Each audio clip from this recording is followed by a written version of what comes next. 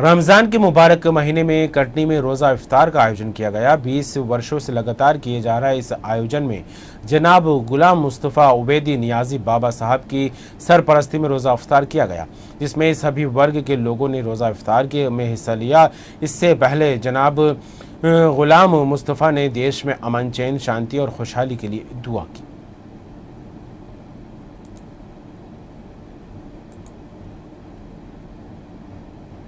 जवाहर चौक, रूई बाज़ार में हर वर्ग, हर समाज के व्यापारी वर्ग द्वारा मुस्लिम समाज को रोज़ा अफ्तार का ये कार्यक्रम आयोजित किया गया। नमाज़ के बाद मुल्क एवं ज़िले में अमन, भाईचारा और शांति की दुआ मांगी गई।